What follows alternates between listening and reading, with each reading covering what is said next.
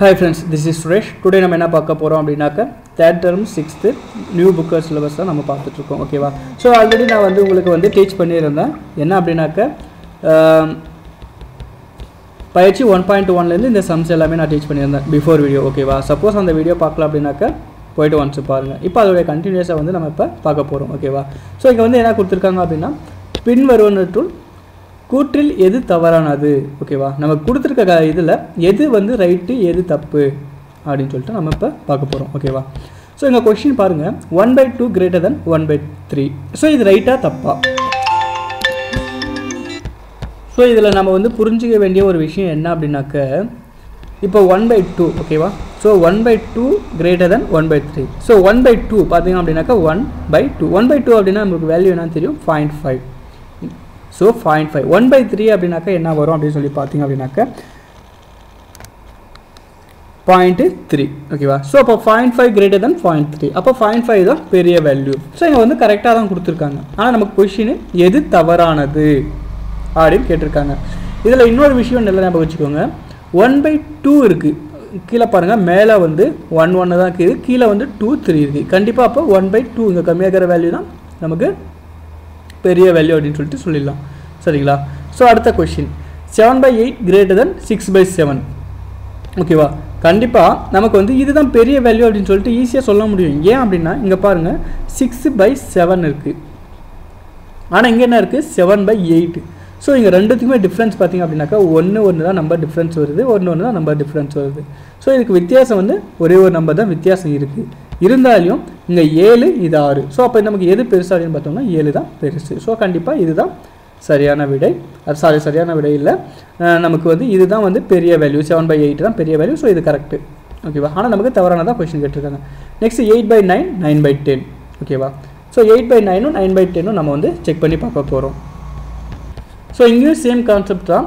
Eight nine nine ten so எந்த வித சேஞ்சஸுமே இல்லை. அப்போ எட்டு. இந்த டிஃப்ரென்ஸ் பார்த்தீங்க அப்படின்னா எட்டு ஒம்பதுக்கும் டிஃப்ரென்ஸ் ஒன்று தான். ஒம்பது பத்துக்கும் டிஃப்ரென்ஸ் ஒன்று தான். ஸோ அப்போ கண்டிப்பாக வந்து இதுதான் நமக்கு பெரிய வேல்யூ ஸோ அதே பக்கம் தான் கிரேட்டர் தன் வந்து கொடுத்துருக்காங்க. ஸோ அப்போ இதுவும் சரிதான். அடுத்தது இ கணக்கு. Ten by eleven nine by ten ஓகேவா ஸோ இல்லை பாருங்கள் என்ன பண்ணியிருக்காங்க அப்படின்னா இங்கே வந்து பெரிய வேல்யூ இருக்குது நைனு டென்னு டென்னு லெவனு அப்போ நமக்கு சிம்பிள் வந்து இப்படி தான் வந்திருக்கணும். அங்கே வந்து ஆப்போசிட்டை வந்து கொடுத்துருக்காங்க. ஸோ அப்போ கண்டிப்பாக இதில் எது தவறு அப்படின்னு சொல்லி பார்த்தோம்னா இதுதான் தவறான விடை. ஸோ இதுதான் நமக்கு ஆன்சர் ஓகேவா அடுத்த கொஸ்டின் த்ரீ பை செவன் மற்றும் டூ பை நைனுக்கும் இடையே உள்ள வேறுபாடு. இதில் வேறுபாடு அப்படின்னாக்கா என்னன்னு சொல்ல போகிறோம் அப்படின்னாக்கா ஒன்றுமே இல்லை சிம்பிள் கான்செப்டாக இது ரெண்டுத்தையும் வந்து மைனஸ் பண்ணணும் ஓகேவா வித்தியாசம் அப்படின்னாக்கா வேறுபாடுனால ஒன்று தான் ரெண்டுத்தையும் மைனஸ் பண்ணணும். ஸோ நம்ம வந்து இது கொஷினை பார்த்தோன்னே எப்படி ஈஸியாக ஆன்சர் பண்ணுறது அப்படின்னு சொல்கிறோம் பாருங்கள் இங்கே என்ன கொடுத்துருக்காங்க? ஏழு ஒம்பது ஸோ கண்டிப்பாக இது எல்சிஎம் எடுக்கும்போது மல்டிபிகே மல்டிஃபை பண்ணுவோம். அப்போ ஒம்பது ஏழு அறுபத்தி மூணு ஸோ கீழே பார்த்தீங்கன்னா இதுதான் அறுபத்தி மூணு இருக்குது மற்ற எல்லாம் ஒன்பது ஏழு பதினாறுன்னு இருக்குது ஸோ அப்போ கண்டிப்பாக இதுதான் சரியான விடையாக இருக்கணும். ஓகேவா ஸோ நம்ம எப்படி அப்படின்னு சொல்லிட்டு ப்ரூவ் பண்ணி காட்டுறேன். இது பார்த்தீங்க அப்படின்னாக்க ஸோ இதில் பார்த்தீங்க அப்படின்னாக்கா த்ரீ பை செவன் இங்கே என்ன? வேறுபாடு கொடுத்துக்கிறதுனால மைனஸ் டூ பை நைன் போட்டோம். ஓகேவா இப்போ ரெண்டுத்துக்குமே எல்ஜிஎம் எடுத்தோம் அப்படின்னா ஒம்பது ஏழு அறுபத்தி மூணு. அப்போ இதை வந்து கிராஸ் மல்டிஃபிகேஷன் பண்ணுறோம் மூணு ஒம்பது இருபத்தி ஏழு ரெண்டு ஏழு பதினாலு. அப்போ இருபத்தி ஏழு மைனஸ் பதினாலு அப்படின்னா பதிமூணு பை அறுபத்தி மூணு. ஓகேவா ஸோ இதை டேரெக்டாக பார்த்த உடனே சொல்லலாம். ஒம்பது ஏழு அறுபத்தி மூணு அப்படின்னா அறுபத்தி மூணு தான். அப்போ இந்த ஒம்பது இதெல்லாம் எதுவுமே ஆன்சர் வராது அப்படின்னு சொல்லிட்டு சொல்லிடலாம். அடுத்தது ஐம்பத்தி மூணு பை பதினேழின் தலைக்கீழி ஸோ இதை வந்து ரிவர்ஸில் எழுதணும். அப்போ கீழே ஐம்பத்தி மூணு வரும் மேலே வந்து பதினேழு வரும். ஸோ இதுதான் சரியான விடை அப்படின்னு சொல்லிட்டு சொல்லிடலாம். ஓகேவா அடுத்த question six by seven equal to A by forty nine எனில் ஏயின் மதிப்பு காண்க. ஸோ ஏவுடைய மதிப்பு என்ன அப்படின்னு சொல்லிட்டு நம்ம வந்து கண்டுபிடிக்கணும். இங்கே என்ன இருக்குது அப்படின்னாக்கா six by seven equal to A by forty nine ஓகேவா ஸோ இதை வந்து நம்ம என்ன பண்ண போகிறோம் அப்படின்னாக்க ஸோ இதை பார்த்த உடனே வந்து நம்ம வந்து ஈஸியாக சொல்லிடலாம். என்ன அப்படின்னா six by seven equal to A by forty nine ஏவுடைய மதிப்பு தான் கண்டுபிடிக்கணும். அப்படின்னா இங்கே பார்த்தீங்க அப்படின்னா ஈக்குவல் கீழே இருக்கிறத வந்து நம்ம டிவைட் பண்ணலாம் அப்படின்னு நம்ம சின்ன வயசுலேயே வந்து படிச்சிருப்போம். ஒரு ஏழு ஏழு ஏழு ஏழு நாற்பத்தி ஒன்பது. ஸோ அப்போ இங்கே வந்து ஏ பை செவன் இருக்குது ஸோ இது ரெண்டுத்தையும் கிராஸ் மல்டிபிகேஷன் பண்ணால் ஆறு ஏழு நாற்பத்தி ரெண்டு. ஸோ நமக்கான ஆன்சர் என்னென்னா இதுதான் சரியான ஆன்சர் அப்படின்னு சொல்லிட்டு சொல்லிடலாம். அப்படி இல்லை அப்படின்னாக்கா six by seven equal to A by forty நைனை நம்ம என்ன பண்ணுவோம்? இந்த சைடு வந்து டிவைடில் இருக்குது ஸோ அப்போ இந்த சைடு வரும்போது மல்டிபிகேஷனில் மாறும்.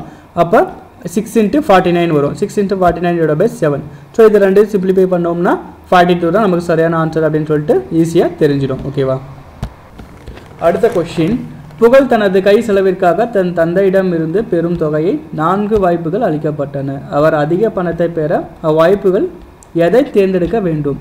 நான்கு வாய்ப்புகள். ஓகேவா ஸோ நான்கு வாய்ப்புகள் அப்படின்னு சொல்லும்போது ஸோ நான்கு வாய்ப்புகள் அப்படின்னு இருக்குது ஆனால் இங்கே பார்த்தா அப்படின்னாக்கா நான்கு அப்படின்னு சொல்லிட்டு எதுவுமே கிடையாது. ஸோ ஆன்சர் இருந்தால் கண்டிப்பாக என்னன்னா ஃபோர் டிவைட் பை ஃபைவ் அப்படி தான் இருக்கணும். ஸோ இங்கே வந்து ஆன்சர் வந்து தவறாக ஆன்சர் வந்து கொடுத்துருக்காங்க. ஓகேவா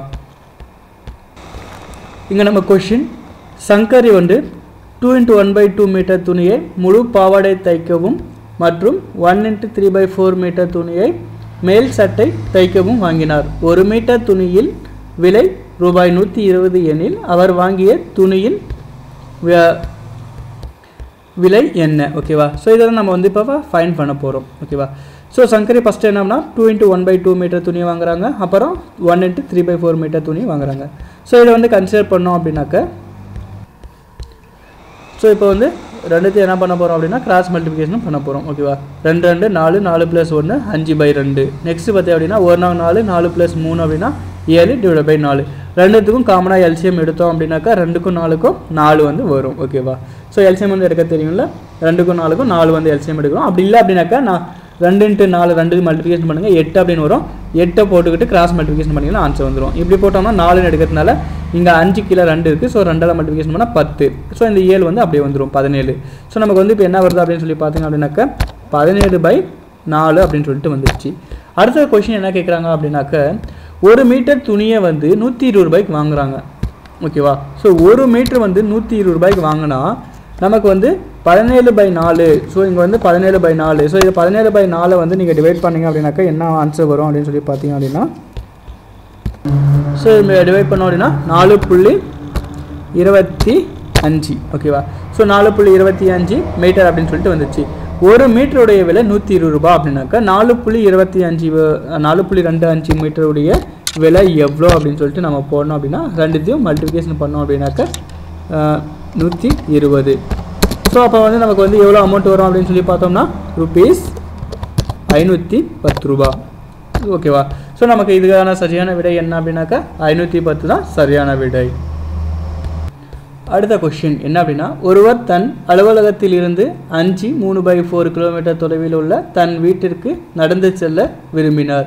அவர் two into one by four one by two kilometre கடந்த பின்னர் அவரது வீட்டை அடைய எவ்வளவு தொலைவு நடந்து செல்ல வேண்டும்? ஸோ அதுக்கு நமக்கு வந்து என்ன கொடுத்துருன்னா five into three by four போட்டாச்சு next two into one by two four so அவர் வந்து ஃபஸ்ட்டு ட்ராவல் பண்ணுறாரு அதாவது இவ்வளோ தொலைவில் அஞ்சு into three by four kilometre தொலைவில் இருக்கிற அவர் வீட்டுக்கு செல்கிறாரு ஆனால் ரெண்டரை கிலோமீட்டர் கடந்து போன பின்னாடி அவர் வந்து நிறுத்திட்டார். ரெண்டுத்துக்கும் டிஸ் டிஃப்ரென்ஸ் எவ்வளோ வரும் நம்ம கண்டுபிடிக்க போகிறோம் ஓகேவா அப்படின்னா மைனஸ் பண்ணணும். ஓகேவா ஸோ இதை வந்து நம்ம மைனஸ் பண்ணோம் அப்படின்னாக்கா நம்ம என்ன பண்ணோம் அப்படின்னாக்கா அஞ்சு சாரி அஞ்சு இன்ட்டு நாலு இருபது இருபது ப்ளஸ் மூணு அப்படின்னாக்கா நமக்கு என்ன வரும் அப்படின்னு சொல்லி பார்த்தோம்னா இருபத்தி மூணு ஓகேவா ஸோ இருபத்தி மூணு டிவைட் பை நமக்கு என்ன வரும்? ஃபோர் அப்படின்னு சொல்லிட்டு வரும். டி இருபத்தி மூணு divide by four plus sorry sorry minus next ரெண்டு ரெண்டு நாலு நாலு ப்ளஸ் ஒன்று அப்படின்னு சொல்லி போட்டோம் அப்படின்னாக்கா அஞ்சு. அப்போ அஞ்சு பை ரெண்டு ஃபைவ் பை டூ இது ரெண்டுத்துக்கும் காமனாக எல்சிஎம் எடுத்தோம். என்ன வரும் அப்படின்னாக்கா? ஃபோர் அப்படின்னு சொல்லிட்டு வரும். ஸோ இங்கே வந்து இருபத்தி மூணு அப்படியே தான் வரும். இருபத்தி மூணு மைனஸ் பத்து அப்படின்னு சொல்லிட்டு வரும். ஓகேவா ஸோ இருபத்தி மூணு மைனஸ் பத்து அப்படின்னு சொன்னால் நமக்கு என்ன ஆன்சர் வருது அப்படின்னு சொல்லி பார்த்தோம் அப்படின்னாக்கா பதிமூணு பதிமூணு பை நாலு. ஓகேவா பதிமூணு பதிமூணு டிவைட் பை ஃபோர் அப்படின்னு சொல்லிட்டு வரும். ஸோ அவர் எத்தனை கிலோமீட்டர்ஸ் வந்து இவ- இன்னும் ட்ராவல் பண்ணோம் அப்படின்னு சொல்லி பார்த்தீங்க அப்படின்னாக்கா பதிமூணு பை நாலு. ஸோ இதை வந்து நம்ம வந்து பிரித்து எழுதணும். ஓகேவா நமக்கு வந்து எத்தனை கிலோமீட்டர்ஸ் அப்படின்னு சொல்லிட்டு தேவை. ஸோ அதனால் நம்ம என்ன பண்ண போகிறோம் அப்படின்னாக்கா பிரித்து எழுத போகிறோம் பதிமூணு பை நாலு. ஸோ பதிமூணு பை நாலை வந்து நம்ம எப்படி பிரித்து எழுதலாம் அப்படின்னாக்க நாலால் டிவைட் பண்ணுங்கள் ஒரு நாங்க நாங்கள் ரெண்டு நாங்கள் எட்டு மூணு நாங்கள் பன்னிரெண்டு. ஸோ அப்போ மூணு. மூணு நாங்கள் வந்து பன்னிரெண்டு அப்படின்னு சொல்லிட்டு வந்துச்சு மூணு. மீது என்ன இருக்குது அப்படின்னாக்கா ஒன் இருக்குது ஸோ அப்போ நமக்கு என்ன வரும்? ஒன் டிவை ஒன் பை ஒன்று டிவைட் பை ஃபோரு ஸோ அப்போ three into one by four kilometres வந்து அவர் வந்து ட்ராவல் பண்ணணும். ஓகேவா ஸோ இப்போ புரியுதா? இங்கே கொடுத்துருக்கிறது வந்து மிக்ஸ்டு ஃப்ராக்ஷனாக வந்து கொடுத்துருக்காங்க. அதனால் நான் வந்து மிக்ஸ்டு ஃப்ராக்ஷனாகவே ஆன்சர் வந்து சொல்லியிருக்கேன். அப்படி இல்லை அப்படின்னாக்கா இது டோட்டலாக நான் நீங்கள் வந்து இது பண்ணீங்க அப்படின்னாக்கா என்ன வரும் அப்படின்னாக்கா முன்னாங்க பன்னெண்டு பன்னெண்டு ப்ளஸ் பதிமூணு பை நாலு அப்படின்னாக்கா என்ன வரும்? மூணு புள்ளி ரெண்டு அஞ்சு அப்படின்னு சொல்லிட்டு நமக்கு ஆன்சர் வரும். ஓகேவா அடுத்த கொஷின் இவற்றில் எது சிறியது? டூ இன்ட்டு ஒன் பை டூக்கும் த்ரீ இன்ட்டு டூ பை த்ரீக்கும் இடையே உள்ள வேறுபாடு அல்லது one into two by one by two மற்றும் டூ இன்ட்டு ஒன் பை ஃபோரின் கூடுதல். ஸோ இடையே உள்ள வேறுபாடு அப்படின்னாக்கா நமக்கு என்ன வரும் அப்படின்னாக்கா இந்த இடத்துல வந்து மைனஸ் அப்படின்னு சொல்லிட்டு வரும். மற்றும் கூடுதல் அப்படின்னாக்கா இந்த இடத்துல என்ன வரும்? ரெண்டுத்தையும் ஆட் பண்ணணும் அப்படின்னு சொல்லிட்டு வந்துடும் ஓகே இப்போ அப்படின்னா இதை மைனஸ் பண்ண போகிறோம் அப்படின்னா ரெண்டு ரெண்டு நாலு நாலு பை நாலு சார் ரெண்டு ரெண்டு நாலு ப்ளஸ் ஒன்று அஞ்சு பை டூ ஓகேவா ஸோ இங்கே என்ன வரும் அப்படின்னு சொல்லி பார்த்தோம்னா ஃபைவ் பை டூ அப்படின்னு சொல்லிட்டு வரும். நெக்ஸ்ட்டு வந்து இங்கே என்ன வரும் அப்படின்னா மூணு ஒம்பது ஒம்பது ப்ளஸ் ரெண்டு அப்படின்னா பதினொன்று பை த்ரீ அப்படின்னு சொல்லிட்டு வரும். ஸோ இப்போ வந்து இது ரெண்டுத்துக்கும் நம்ம எல்சிஎம் எடுத்தோம் அப்படின்னா இது எப்படி வந்துச்சுன்னு தெரிஞ்சில்ல ரெண்டு ரெண்டு நாலு ப்ளஸ் ஒன்று அஞ்சு பை ரெண்டு மூணு ஒம்பது ப்ளஸ் ரெண்டு அப்படின்னா பதினொன்று பை மூணு. ஸோ இடையே உள்ள வேறுபாடுனா மைனஸ் அப்படின்னு சொல்லிட்டு போடுவோம். ஸோ இதை கிராஸ் மல்டிபிகேஷன் பண்ணலாம். மூ ரெண்டு என்ன அப்படின்னு பார்த்தோம்னா? ஆறு. ஓகேவா அப்போ ஐமு பதினஞ்சு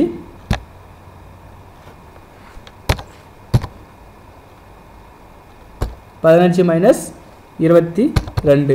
ஸோ அப்போ நமக்கு கண்டிப்பாக இது வந்து என்னதுன்னா நமக்கு வந்து ஒரு மைனஸில் தான் வருது அப்படின்னு சொல்லிட்டு தெரிஞ்சிடுச்சு.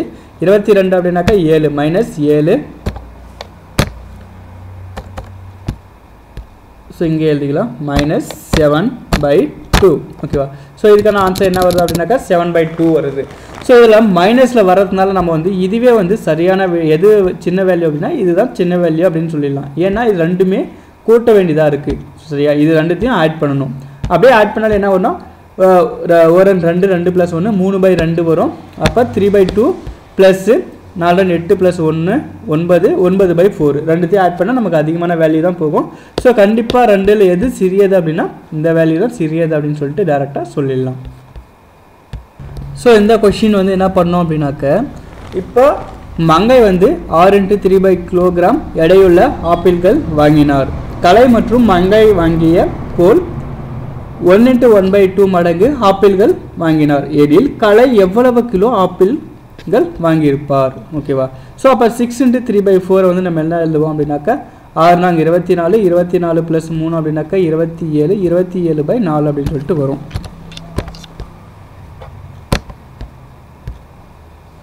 ஓகேவா அடுத்தது இதில் வந்து பாருங்கள் ஒரு ரெண்டு ரெண்டு ரெண்டு ப்ளஸ் ஒன்று அப்படின்னா மூணு பை ரெண்டு. ஸோ நமக்கு வந்து என்ன கேட்டாங்க அப்படின்னாக்க மடங்கு அப்படின்னு சொல்லி கேட்டாங்க. மடங்கு அப்படின்னாக்கா நம்ம என்ன பண்ணோம் அப்படின்னாக்க ரெண்டுத்தையும் வந்து மல்டிபிகேஷன் பண்ணணும் ஓகேவா மடங்கு அப்படின்னு கொடுத்தாவே வந்து நம்ம ரெண்டுத்தையும் மல்டிபிகேஷன் பண்ணணும். ஓகேவா ஸோ மல்டிபிகேஷன் பண்ணும்போது நமக்கு வந்து கண்டிப்பாக என்ன வரும் அப்படின்னா இது வந்து டிவைட் பண்ணணும். ஸோ டிவைட் பண்ணோம் அப்படின்னாக்கா நமக்கு ஈஸியாக ஆன்சர் வந்துடும் ஓகேவா ஸோ அப்போ இது ரெண்டுத்தையும் கேன்சல் பண்ணோம் அப்படின்னா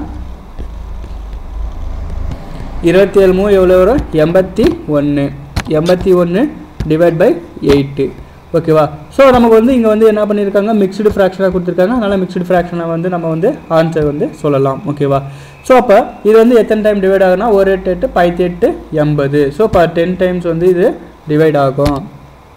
பைத்து எண்பது. மீதி என்ன இருக்குது அப்படின்னு பார்த்தோம்னா ஒன்று so one divide by eight அப்படின்னு சொல்லிட்டு வரும். ஓகேவா ஸோ நமக்கு வந்து அவங்க எத்தனை மடங்கு வந்து எத்தனை மடங்கு வந்து ஆப்பிள் வந்து அதிகமாக வாங்குறாங்க அப்படின்னு சொல்லி பார்த்தோம் அப்படின்னாக்க ten into one divide by eight மடங்கு வந்து அதிகமாக வந்து ஆப்பிள் வந்து வாங்கியிருக்காங்க.